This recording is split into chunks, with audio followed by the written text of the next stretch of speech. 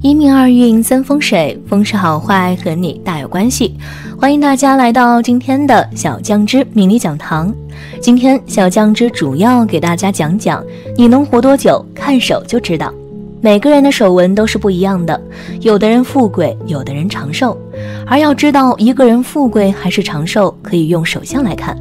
那长寿人的手纹是什么呢？相信很多人都不知道。那么长寿人的手相是什么呢？短命的手相又是什么呢？今天小酱汁就和大家说说：一、长寿手相；一、生命线很深很长。生命线本身就与一个人的生命力、身体健康、寿命长短等方面的信息是相关的。所以，若问一个人的寿命是长是短，是可以从生命线的纹路中看出来的。如果一个人的生命线相当的虚弱，生命线不仅很短，生命线的纹路还非常的不清晰，这样的生命线直接说明了一个人生命力不强，抵抗力差。而通常来说，生命线很弱的人，大多数情况下都是一个体弱多病的药罐子。这样的人连自身的健康都无法保障，如何可以长命百岁呢？相反，如果一个人生命线很长，生命线的纹路非常的清晰，生命线粗而深。这样的生命线意味着你的生命力顽强，是一个体格强健、身体健康的人。也很少会被疾病困扰，你的身体健康状况优良，所以这样的生命线手相相对来说会更加长寿哦。二，手掌很厚实饱满，从个人手掌的情况里也不能看出一个人身体健康的信息，从而得知一个人寿命的长短。一般来说，如果一个人的手掌很瘦小、很薄、很僵硬，又或者整个手掌都没有半点肉，这样的手相不仅预示着一个人福气很差、财运很差，更说明了一个人身体健康不好、健康运势不佳。所以，这样手相的人多数都是短命之辈。但如果一个人的手相很饱满、很厚实，手相非常的有肉。这样的手掌说明了你很有福气之余，也说明你个人的寿命很长，身体健康。通常来说，生活中的百岁老人手掌还是非常有肉的，可见这样的手相预示着你长寿哦。三，手掌丰满红润，手掌丰满红润是一个非常好的手相特征。相对有些人的手掌暗淡无光，常常呈现干瘪状，手相丰满红润则是大富大贵之相。即使这种人从一开始的出身并不佳，但大富大贵终究能够通过自己的双手创造得到。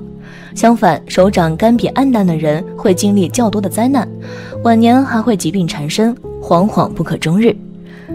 四手指纤细，手指纤细的人是典型的富贵命，尤其是拥有纤细手指的女人，福泽更是深厚。这种类型的人往往不用太过操劳，就能轻而易举得到想要的东西。因为天生拥有这样一双纤细的手，操劳繁重的事物就自然而然地避开了。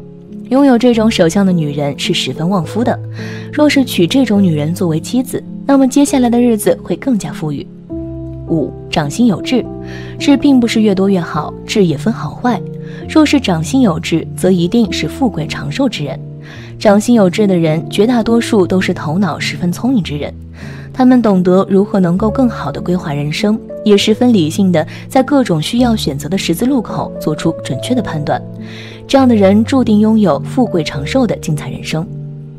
六，生命线中生出水星线，长寿人的手纹之生命线中生出水星线。手相中最好的生命线是绵长、深厚、红润的，就像是一条奔腾的河流，气势磅礴。发源如果是位于大拇指和食指中间，逐渐流向掌底，这样的生命线代表着顽强的生命力，不易生病，能长寿的手相特征。长在生命线旁边的水星线又称第二生命线，出自生命线的水星线一般预示此人身体各脏器运转良好。呼吸和循环都很正常，是健康长寿的体格。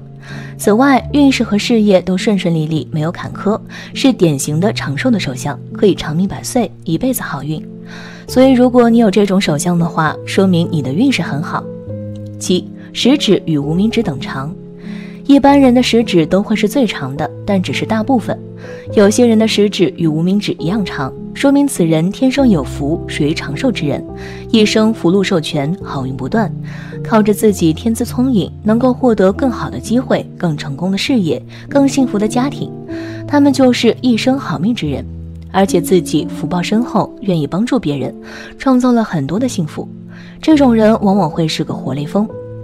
八贵人线交叉，贵人线又称姊妹线，是在生命线的内侧，紧靠着生命线，与生命线相互平行的线。若是一个人的贵人线呈交叉状，纹线深且清楚，代表有贵人运，往往事业有成，而且寿命也比较的长。有此手相者会一生平顺，多子多孙，长寿喜乐。九，财运线没有断裂，财运线也叫做水星线，是出于水星丘小指根部的短竖线，代表着一个人的金钱运，也跟人的寿命有关。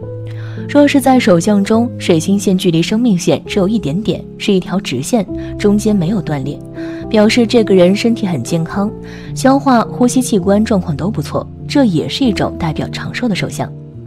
二短命手相，一生命线中间有中断，这类人特别的倒霉，往往都是短命鬼，他们会遇到意外的死亡事件，可能是很可怕的车祸，也有可能是诸如地震、洪水等自然灾害。这类人没有办法长命百岁，但也有可能在年纪轻轻的时候就会走向死亡。二生命线很浅很短，这类人天生身体素质很差。从很小的时候，抵抗力和免疫力就很弱，父母为了让他们健康茁壮成长，会花费很多的时间、精力和金钱。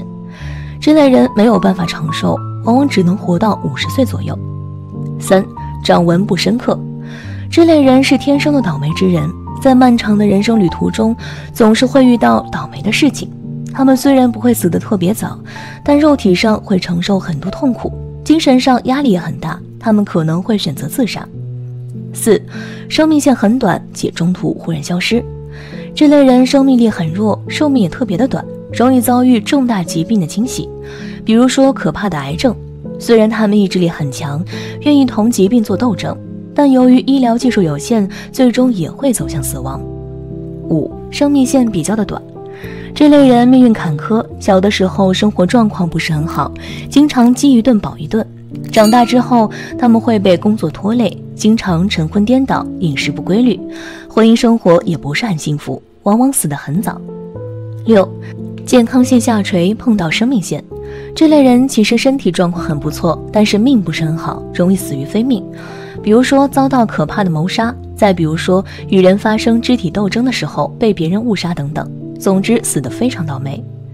七，智慧线向下弯曲。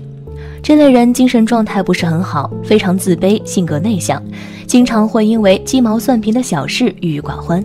他们还会长时间沉浸于悲伤的情绪中，容易因为精神疾病而死亡。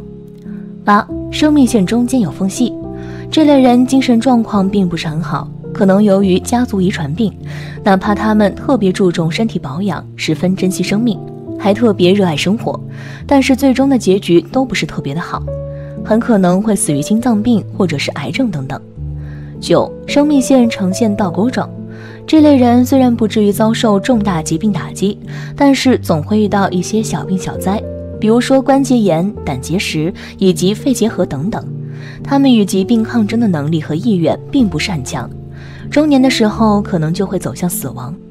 十，智慧线向下且靠近月球下面，这类人思想很极端，特别喜欢钻牛角尖儿。做事情还很冲动，他们很有可能因为性格问题做出违法犯罪的事情。一旦造成他人死亡，那么他们肯定也会被判处死刑。十一，生命线末端有流苏纹，这类人不太注重身体保养，身体素质也特别的弱，容易受到外界环境的影响。比如说天气变得很热，他们就特别容易头昏脑胀，甚至有可能引起猝死。好了，今天的分享到这里就结束了，希望大家能够喜欢，记得给小酱汁点点关注和小铃铛，小酱汁会继续给大家分享更多有趣的命理内容，我们下期再见。